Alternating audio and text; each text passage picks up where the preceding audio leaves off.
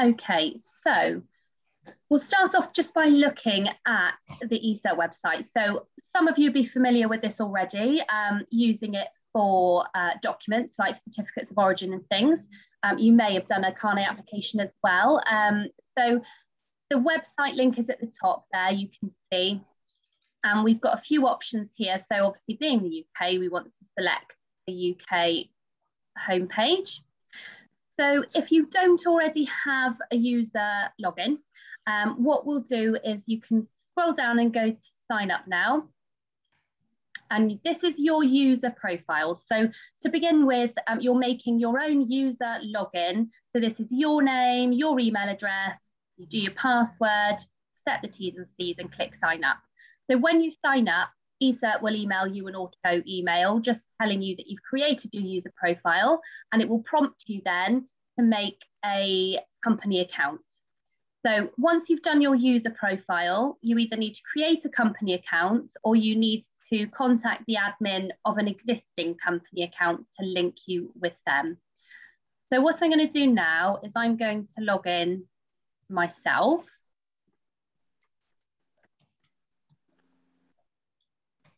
And you'll see when we get in, there'll be a few options. It doesn't take you straight into your applications page. So it takes you to this login landing page. So there are a few options when you get in. So this is your user page. Um, at the top, there are a few actions here. The main thing that you want to um, really understand is the My eCert section here. So you can do, you can launch eCert from there. You can check your profile and amend any of your details there. You can add a new company account here. So if you don't get the email link or, or uh, click on that to create your company account, um, you can log into your user account and just create the new company account there. And you can also change your password as well. So I'm just going to show you the new company account. So we'll do this as if you're starting from scratch. So you would create a new exporter account uh, or you can join an existing account if there is one. Um, if you're a new employee, for example, and there's already an existing account, you would click join and you would need to know who the admin of the account is and you pop their email address in and they'll be notified that you want to join their account. so if you're creating a new account, just tick create a new and it will bring up this new page for you. So you just fill in the box by box. It will ask you the chamber required, um, the service required, and the chamber that you want to register to. So we're Bristol Chamber, also known as Business West. Um, so you pop in, uh, this will be auto-populated, your chamber contact email. Fill in everything else. So this is your company name information now because you're creating your company account and you accept the T's and C's and then it will email you again to say that you've created your company account. So you can create as many company accounts as you like. Um, for example, if you're a forwarder, you may choose to have um, multiple exporter accounts if you're acting on behalf of them. Um, or you might be, we find this a lot with production companies, you might have subsidiary sites or subsidiary um, company names and you want to have a company account for each one.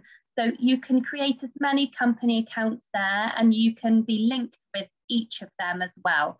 So if you have multiple company accounts, um, you can then see them in your drop down box here. So you'll see select accounts, you'll click on there and any that you are linked to as a user will show in your drop down. So you select the company account that you want to do the application for. So we'll just go in as Bristol today and then we'll click launch eCert. And that will take you into your applications section. So this is where you do all of your um, application related admin. So you've got your dashboard here. This landing page is um, mainly just for our notes to tell you anything that we think that you need to know. So any closures, um, anything to do with volume, processing, times, um, opening and closing over Christmas, things like that. Um, so just do keep a, an eye on that because we do change those um, to, uh, as, as and when things up, are updated. Um, you've got your applications tab and you've got your stored data, which we'll have a look at uh, a bit later, and your settings. So when you, um, when you register to eCert, we will be notified at the chamber that you've created a company account. Once we've seen that you've created an account, we'll email you a formal undertaking. So that's just a form which basically tells us um, who is authorised to sign on behalf of the company. So everyone will need to fill out that um, form. Also, it's one form, but you can have as many signatories on that as you like. So if you have multiple employees who'll be doing the applications, long as they're listed on there um, as an authorised signatory, we'll go in and we'll upload your signatures to the account so that when you do an application, it will pull through your signature into the relevant places. So um, if you don't find that you get an email uh, with the formal undertaking, I believe you can download it from eCert as well. It does prompt you, I think, in the email. Um, but that's the, the sort of first stage once you've registered. We'll get you to do your formal and we'll upload your signatures into there. If you're the admin of the account, you can upload signatures yourself. Um, but we just ask that if you do that, that you let us know so that we um, can do the admin our side as well and pop the contact information onto our system um, and also prompt you to have them fill out the formal undertaking as an authorised signatory as well. So you can just do that by clicking new and then going here, you would add your name and job title and you click upload and then it will bring up um, the image of the um, the signature and you select around it and save it. So it's quite, quite straightforward, but if you get stuck or if you need help, we can do it for you as well. So that's your settings and you have your account defaults there as well. So the primary thing that we're going to be looking at now is um, an application. So if you click on your applications tab, you'll see if you've been doing applications already, this is where all of your applications are. Um, it will show you the status as well here. So once it's been submitted, it will show you that it's pending.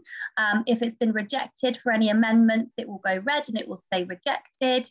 Um, and once it's processed, it will go green and it will say processed. So you can see, you can track the um, stage of your application as you go through. Um, we'll click on new and that will bring up uh, a reference box. So this is just a reference for you um, so that you can find your application um, at a later date in the list. Because as you can see, they do um, they do clock up quite quickly, um, and you you will see that those applications will stay there for as long as you like.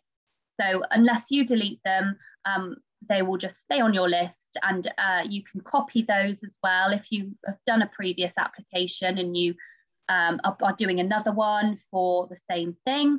Um, with a few different different items that are different, you can just click on the copy application button and it will do an exact copy to the top of the list. Um, so you don't have to fill it all out um, from scratch every time. So I've created my new um, application here and it will, it will always put the newest one to the top. So we'll click into that. And you'll see as you go through, um, it's very step by step. So each box will have on the right hand side some blue boxes um, telling you what that section is for and how to complete it. Um, so we'll start off with the destination country this is really just going to indicate to eCert what type of documents you're allowed to do. So um, it, it is um, intelligent to a certain degree. So if you select a country which isn't part of the Carnet scheme, it won't give you the option to do a Carnet. So you do have to select a Carnet country um, in order to get the Carnet um, option. So I'm going to choose Australia. So now you can see there are some options which have been grayed out because we can't do those documents for that country. But it does have the Carnet option, which is good. So we're going to tick on Carnet and then it removes everything else. And the only relevant thing that's left is to upload your own invoice or documents. So you might want to do this if you're um, an agent and you want to give us the letter of authority, um, or if you're doing it for a country which requires an indemnity letter, or if you're going to a trade fair, something like that. So if you want to upload any documents with your application, just select that one as well and make sure it's ticked, and then it will give you the tab to upload a document with your application. If you're not going to do that, then just leave it unticked and just do the carnet. So I'll leave it unticked for now and we'll click next. And then you'll see it's brought up the tab on the left for the ATA carnet, which we'll get to very shortly. Um, and then we just want to select our signature. So all the signatures that are in our settings will show in this drop-down box. Um, if you're the admin, as I said before, you can add new signatures as well. Um, so you want to select your own signature. Um, we always ask that you use your own signature um, just because uh, it makes it easier to, to understand who is actually applying for the carnet um, and to make sure that everyone is an authorised signatory. Um, so select your own signature and then you can change the reference there if you need to. Click save and it will take you on to the carnet itself. So you can see an example, sort of a template there of the front cover of the carnet and also the general list on the back. So there are a couple of ways you can complete this. You can click into the boxes. Um, you can see some of the boxes um, are not clickable. That's just there for your, for your reference, basically, so that it gives you an example of the front cover. Um, or you can click into the um, red cross.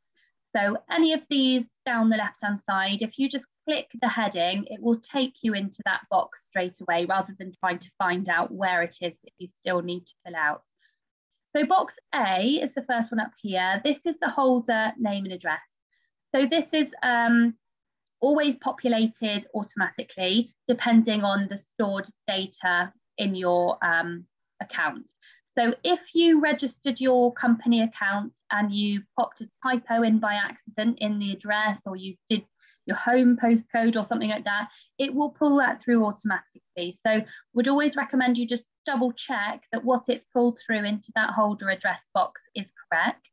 Um, if you wanted to amend anything, you just click into the box and you can amend it line by line if you want to, um, like that. Um, or you can, if you wanted to change this entire address and holder name.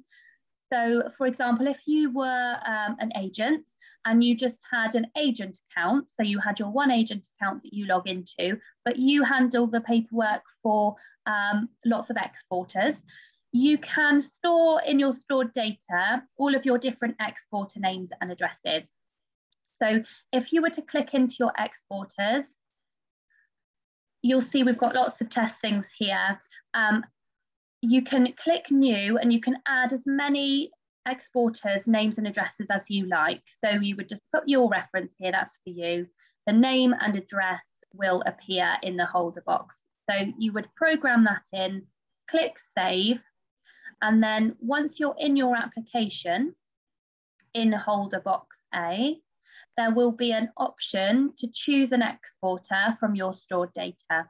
So once you've programmed in all your exporters, if you wanted to do that, it would show all here you would just select the one that you wanted to, click save, and it will pull it through to box A instead of what was pulled through automatically from your account. So we'll leave it as Bristol for now, and we'll move on to box B. So this is the represented by box. So this is going to be the list of who can actually carry the carnet through customs and who's authorised to sign the declaration for um, the carnet itself. So there is one template which you can select. If you don't know who's going to be carrying your carnet, you can't put their names in yet.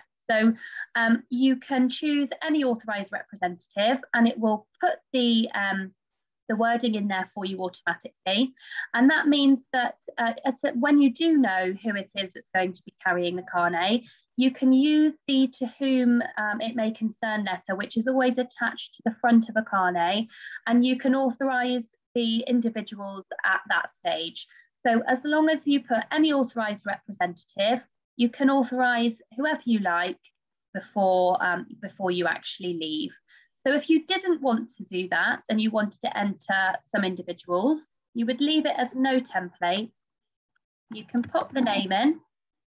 You can put full names if you want to, um, or you can just put the first initial and the last name. We would just recommend that you make sure it matches the passport. So um, if you are doing full names, don't use nicknames or shortened names. Um, so use the full birth names um, or just the first, first initial and the last name. So you can just put the names.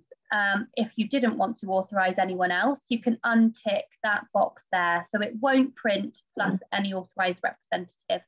It wouldn't really be recommended to untick that. There's no reason why you shouldn't put plus any authorized representative you always want to make sure that you can authorize somebody else should you need to. If that's not on there, the only people listed in the represented by box can carry the carnet. So we would say leave plus any authorised representative on there, and then you can authorise whoever you need should anyone not be able to travel for any reason. So you can add the names in there. Um, if you added plus any authorised yourself and you left that ticked, it would add it twice, which we don't really want to see. So um, you can see when it pops up, it will have it two, two times. So just make sure you don't ever need to put plus any price as long as you have it ticked. So we'll save that and we'll go on to box C. So this is your intended use. So you've got three categories here. You've got commercial samples, international trade fair and professional equipment. Um, for those of you who are, who are familiar with carnets, you'll know that not all countries accept all categories. Um, so you'll just need to select the categories that you do need to use um, for your carnet. Um, if you select a category, um, you'll see later on there should flash up um, any notices to say that the, the country that you've selected um, doesn't accept carnets for the category that you've chosen, um, and it will ask if you want to proceed. So there are cases where we may still issue a carnet. I think for Canada, we technically only accept commercial samples, but we can issue for professional equipment. Sometimes they're interchangeable. Um, but we might get you to fill out an indemnity letter just saying that you're aware that the carnet might be um, refused at customs. So you just select your category there and then it will also ask you to categorize your goods. So there are all the categories here. Again, for those who are familiar with the numbers, you'll see that they aren't actually numbered, but they are in the correct order. So if you know that your category is category six, um, then you can just, you'll see it's the sixth place in the list. Um, if you find that you can't categorise your goods for any reason, if you don't think they fall into any of these categories, do let us know and we can always contact London and they might um, try and uh, recategorise um, these um, different sections because there are some which aren't really used anymore, like stamps. So um, yeah, if you have any problems with categorising, then just uh, give us a shout at the chamber and we'll help you.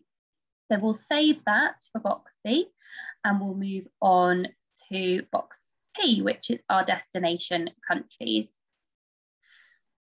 So you can add as many countries here as you need to, as many countries as you'll be visiting. Um, it's wise to add all the countries that you think that you think you're going to be um, going to at this time, um, because they do appear in box P as the countries. It lists it will only list the countries that you are bonding this carnet for. It won't list all the countries um, in the carnet scheme. So if you think you might be going to a country, pop it on. Um, you can add countries to a carnet after it's been issued, um, but we would just need the carnet back in the office to add it um, and make sure that it's uh, alteration approved. So it is possible, it just adds an extra step and, and, it involves getting the carnet back to us um, at the office. So select your countries here. So as I said at the start, we did choose Australia. That really just indicated to eCert that uh, what documents we could produce. So we can choose Australia again. Um, we want to enter the number of visits that we're going to do for this country. So this is the number of times you're going to be entering the customs union. So the number of times you're going to be going through customs into Australia. So if you're just going in once, you put one visit. I'm going to add that and it will give me another line and I can then add another country. Um, for those who um, go to the EU, um, you can choose European Union and that's just classed as one country because it's one customs union. So you don't need to add all of the um, individual European countries. Um, we don't need to know your itinerary that you're going to France, Spain, Germany. So just European Union once and the number of visits, and that's the number of visits you're going to be making into the EU. So the number of times you're crossing the border into the EU. Once you're in the EU, you've got free movement. You can move around um, through the countries, and we don't need to know that you're going to be visiting three different countries in the EU. You wouldn't put three or four different times that you're going in. It's really just the number of times you're going into the EU. So you'll see there's a box here called number of transits.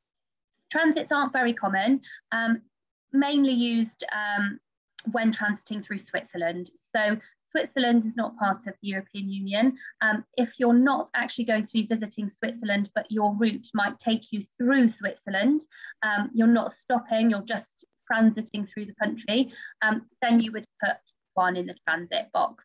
Um, to make sure that we can issue with the correct number of vouchers. So these visits here, the number of visits you're putting here, we also want to know the number of exits from the UK because some people might have their um, itinerary to leave once from the UK. They might fly straight from the UK into Australia, then they might fly straight from Australia to the EU.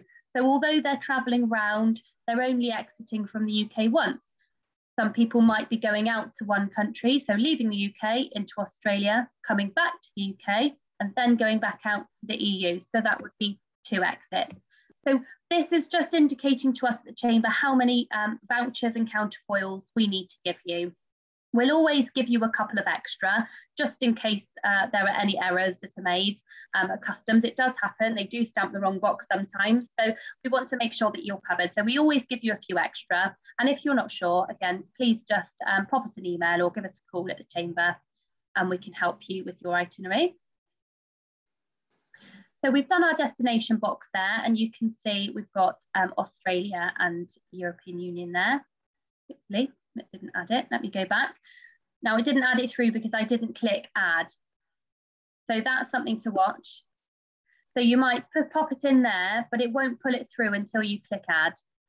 So now it's brought up another, another line. So now I want to save it and it will bring it through there we go. So we've got Australia in third countries and in the European Union, it just puts European Union. So our box P is finished now, and then we'll move on to the general list. So this is probably the area which takes up most time, as, as some of you are, are probably aware. Um, so this um, will give you a few options on how to provide your list. This is probably the reason why we tried to get transfer everyone over to eCert because of um, the challenges that are um, raised at the chamber, formatting um, Excel spreadsheets, um, taking off extra columns, etc., etc. So um, this will really streamline it for everybody. So um, if you've only got a few items, you can just add your item description one by one. You can put your number of pieces. The unit box is grayed out. That's primarily because it's not really used. You can enable the unit column if you really need to, um, but most people tend not to need it. So the weight, um, that will always be in kilos. So if it's a full kilo, you put one. If it's half a kilo, you put 0.5. So it's, it's kilo weight there. So we'll put one kilo. That's a very light car. And maybe it's a toy. Um, and then we've got um, the value here, that's in pounds sterling. So the last thing we need to pop in is the origin. So we need to put in the two letter um, ISO country code here, which we know is GB for the United Kingdom. Um, we do accept UK, but the official one is GB. So if you leave this calculated, if we add a line, that will, um, if we leave that calculate box ticked, it will add up all of the lines and it will enter the values on the list as a total. So you can see it's adding the list as you go along. So you click add and it's numbering them automatically for you. So it can see we've put two pieces in the number of pieces. So it's given us item number two to three. If you click heading, this HD means heading. So sometimes you might want to indicate the packing. Um, this often happens where you've got Peli cases, flight cases, and you want that heading to be on there. Some people like to indicate what items are actually in a certain case. They might have a case for a specific person. So instead of adding it as an item, if you click heading, it will add it as bold as an item. So you can put Peli case, Henry, containing. And then that will appear as a bold heading and anything underneath that now will in, be indicated that is in that Peli case. If you have lots and lots of items, you don't want to be adding this line by line. So you can then download the CSV template. So this will open up in Excel. I'm going to remove, actually, I think if I click download, it will remove all of this anyway. So I'm going to open up the CSV workbook and you'll see it's a, a template format with all of the columns. Um, it will look slightly different to the um, Excel spreadsheet that you might be used to that we've been using at the chamber, um, but it's the same information. So it's the same headings. Hopefully you can see that. So we'll just expand the description box there. Um, it's pulled everything through. So if you do add it line by line, if you open up the CSV, it will pull through what you've put on those lines. You can replace the lines, you can delete them. So if I made a mistake, I'm going to delete that line. So we want to make sure that all of those columns are filled out. The unit isn't necessary, so we don't need to put that in for, for this um, item. And you can see where we had that HD box, it's now showing you as heading. That needs to either say false or true. So if it is a heading, you can put true. If it's not, just put false. So it will need to indicate whether it is or isn't a heading. Um, and we always want to see either no serial number like that, or NSN, um, or if it does have a serial number, we want to know what the serial number is. So all items should either indicate serial number or NSN. So once you save this, you want to save it as um, a CSV file. So leave that type of uh, file as a CSV and that will enable you to then upload it to your application. You don't need to add any totals. So you'll see on our list, um, you have to put the totals um, and it won't number the pieces either. So there's no numbering down this line um, because it does it automatically for you depending on the number of pieces in column B. Um, so once you save this, I've already saved it, so I'm going to use one that I've already saved. You can click upload CSV and you just go to find your file that you've just created. If you already have um, you might have your own spreadsheets um, with all of your products on. Um, you can then just drag and drop those or copy and paste onto the CSV description box. So it's quite, quite easy to use. Um, so it will say, do you want to replace all of your items before it does um, when you're uploading? So I do, so I'm going to click OK. It tells us that it's uploaded successfully and it's replaced our items with the stuff that was in my CSV that I've just uploaded. So if I click save, that will add it to our general list on the back. So you can see then it adds it for us. It does the total of the, the value. So that's why we don't need to add the value total or anything like that on the CSV file. You literally just fill out the columns and it will calculate it for you that's the best way um, we'd like you to do the list because it is the most straightforward for both sides. If you do want to use our um, spreadsheet that you're used to, you can, that's fine. We, we just ask that you don't reformat it. Um, we ask that you don't add any columns because that list is formatted uh, to print onto the carnet in the right place. Um, so if you do use that format, please just leave it as it is um, and email the team the only thing that we ask you um, not to do really, if you click change how the general list is provided, it will give you an option to upload it to eCert. But if you upload something to eCert, it changes it to a PDF, which is very helpful because we can't extract the information. So we'd really like you to either create it in, in eCert, either line by line or downloading this CSV, or um, you can choose to email it to us at the chamber um, if you really need to. Um, if you do choose to email it to us, it will ask you to enter the value of the goods, the total value, because in a moment it will need that value to calculate um, the values of um, the security and the guarantee value. So enter your value there. So we've, we've, we've done it in eCert. I'm going to leave that um, as it was. So the last thing that it's got here now is the security. So this is the security um, for the carnet itself. So this isn't an insurance to cover the goods. Hopefully you'll have done that yourself separately. This is to secure the carnet. It's a guarantee, basically, that um, you will pay any claims or um, fines that are given from overseas customs should the carnet be used incorrectly, or should any of the goods which are on the list that have been taken into a country, should they be left there or lost? If they haven't left the country, you may be open to um, a claim from the overseas customs. So um, this is a security to say that should you um, be asked for those claims, you will pay it. Um, if you don't for any reason, if the company goes into liquidation, etc., we then invoke the guarantee and the, the monies are paid by the guarantor. So you can secure the carnet in a couple of ways. Um, you can give a, a cash deposit. Um, so this cash deposit will be calculated um, depending on the value of the goods uh, and the countries that you're visiting, um, and also the type of goods you're taking it will be the full guarantee value. So this can be quite pricey depending on the value of the goods, etc. So you would need to lodge that in full, in cash, uh, either as a bank draft, cash or check, in cleared funds to us at the chamber. And we would hold that deposit for the full 33 months, um, for which time customs are able to issue a claim um, after the carnet has been used.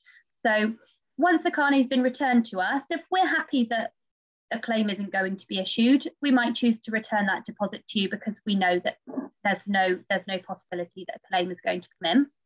If we think that a claim may come in, we might retain the whole deposit, as I say, for 33 months, or we might return part, part of the deposit, um, calculating, um, taking into account uh, the, the monies which we think may be claimed on. So that's the that's the deposit security. The most, uh, the most common version of the security is the immediate cover using our in-house indemnity scheme. So that's the immediate cover here. So this is where you would pay a premium, like any other insurance premium. Um, it's non-refundable. So you pay a premium and they provide you with the cover. So that premium is again calculated on the um, guarantee value. So you'll see here it says immediate cover for £650. So ESA has calculated using the information we've inputted already that the guarantee value for our carnet is £650. That's not what you're going to be paying. Um, that is the guarantee value. So the immediate cover is a premium. And if we choose that, I'll show you a bit later on, it will bring another uh, form up and it will show you the premium costs. So it will show you how much it will cost you to um, pay for that premium.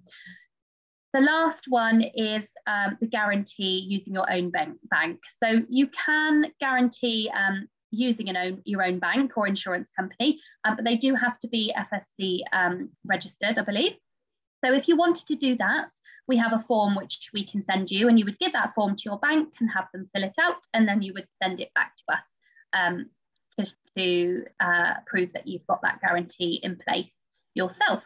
So there is one last option here, which is a continuing guarantee. Um, and that's really the same as the immediate cover, um, but it's an annual um, guarantee. It's an annual cover. So that's really only used for the high, very high volume carnet um, uh, users who need that guarantee in place for, um, for continuing use throughout the year. So as I say, most people will be using this immediate cover. And if we leave that selected and we click save, on the left-hand side, you'll see it will ping up a new tab. So we've got now Aviva Guarantee. So we thought we were done, but we're not quite there yet. So we'll fill out the Aviva Guarantee here. Um, most of it will be completed automatically, depending on what you've inputted already into your application. So again, just give it a quick scan over so you know that it's um, entered everything properly. You can click into the boxes that are pre-populated and amend it if you see that it's wrong. Um, it might pull it through from the list, so you may need to change the list and re-upload it. Um, the one thing in this box here we need to fill out is the nature of the business. And it will also ask you, there's a small tick box, are the goods insured on an all risk basis? So this is in relation to your goods insurance. So are they insured on an all risk basis? And we just want to know yes or no. So if they are, you would tick it. If they're not, you would leave it unticked. So we'll save that. And then we have one last red cross here, which is the duration. So this is how long you want to secure the carnet for. A carnet is valid for one year from the date of issue minus a day. So you, you can use that carnet for one year, but you need to tell us how long you want to have the guarantee, the security in place for. So you can choose two, six or 12 months. Obviously, you can only choose 12 months once, um, but if you choose to secure for two months and you go out and you find actually they've extended the shoot or they've changed it, you want to rebond it or extend the bond, you can just let us know and you can extend the bond another two or six months. Um, you may need to pay an additional um, fee to cover any um, additional countries if you add any different countries or um, just to pay the difference in the extension of the bond. So we'll choose the duration there. You've got the geographical limits already filled out because we've told them that we're going to Australia. Um, if you're going to the European Union and a third country, it will always select worldwide because if you're going to a worldwide country, it will always choose worldwide, um, regardless of whether you're going to the EU as well. If you're only going to the EU, it will show Europe. So um, it will also have your goods type here as well, which you can change if you decide to change your goods at that stage. So we'll save this and leave it as it is. And you'll see that's 100% complete now. So we've done our application. That's everything we need to fill out um, and we can check out. If you're not familiar with these forms, and you don't have a copy of them, of all the wording, it would be recommended to um, print a copy um, so that you know what you're signing. Because we've uploaded your signature, it will pull through your signature automatically onto these forms and it will sign them for you. So just make sure you know what you're signing. So we'll go through the checkout stage and I'll show you that in a second. We've got the two services here. So we at Bristol Chamber don't offer two levels of service. We offer one service level. We don't give a priority or an emergency service.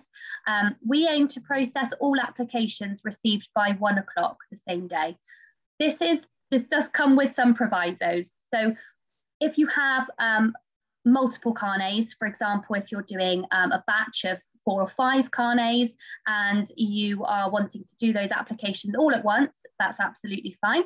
Um, but we would say that the cut-off time of one o'clock doesn't really apply there. We would need to have them slightly earlier. So this cut-off time is there in place so that we have time physically to put your carnet together. So although you're doing an application electronically, this is still going to produce a paper document for you customs and, and the carnet scheme isn't quite there yet with an electronic service. Um, so it's still a paper document. So we need to print this off for you. And it does take time. We have to stamp the pages, we have to number everything, we have to print it all off in the right boxes. Um, if you change an item and we've already issued the carnet, it could cause problems. So we can go back and forth, but that's why we don't offer um, two levels of service and we just have the cut-off times instead. So we have a one o'clock cut-off as long as your application is co correct um, and the list is correct and we don't need to have any amendments or anything like that, we aim to process them the same day. So as I say, if you have a multi-batch uh, of carnets, we would ask you to get them to us by 11 o'clock really at the latest in order to get them done the same day. So we'll choose our service here. If you do find that it is urgent, you can select priority service and it will alert us when your application comes through with an exclamation mark um, but it doesn't necessarily mean that we'll process that one um, any quicker. Uh, we always work in the order that the carnets come in. So just give us a call. If you're concerned, just contact the team and we'll always try and work with you um, within your constraints as well. So we want to select a delivery method. So as I say, it's going to be a printed carnet. So we'll collect, uh, select standard, and then it will give us an option for postage. So we never send carnets first class, we always send them a minimum special delivery. We wouldn't really do overseas because you need the carnet in the UK in order to stamp it out the UK. Um, you can have it couriered if you're sending it to an agent or someone else who's using it for you.